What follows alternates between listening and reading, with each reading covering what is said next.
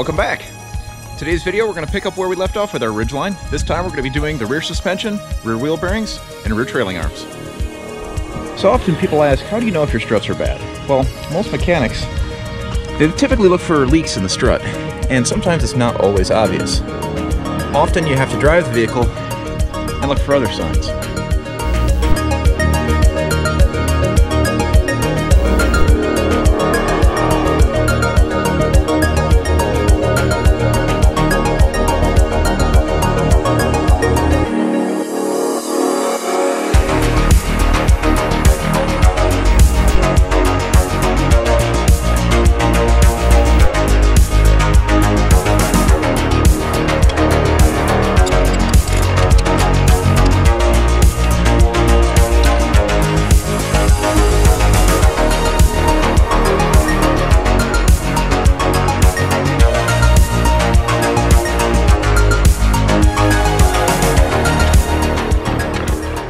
I have to take a moment to thank my sponsors. This whole virus situation, most of the auto parts stores aren't loaning out tools.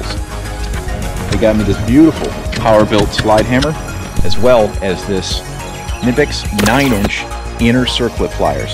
This should make taking out the C-clip much easier.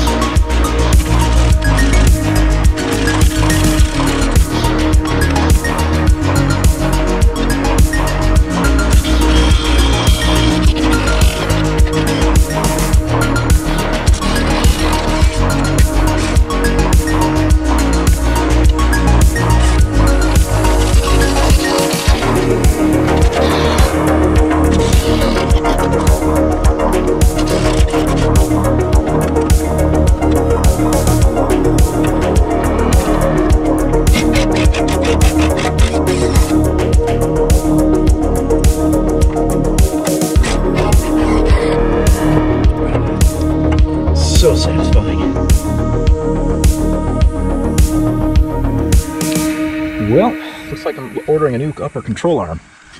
This sleeve was seized to this bolt, and when I went to spin it off, it ended up torquing the whole entire collar and the bushing along with it. So that's no good. To get online with hot now and do another one.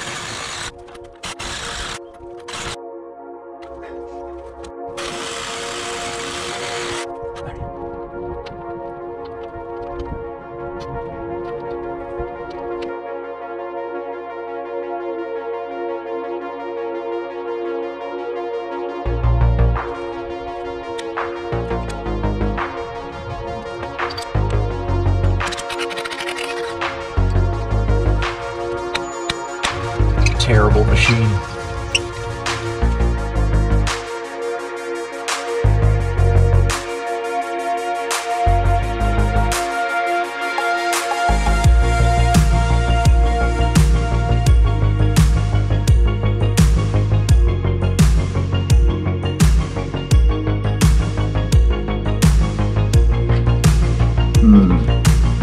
You know what? Might be easier to deal with the parking brake without the hub in there.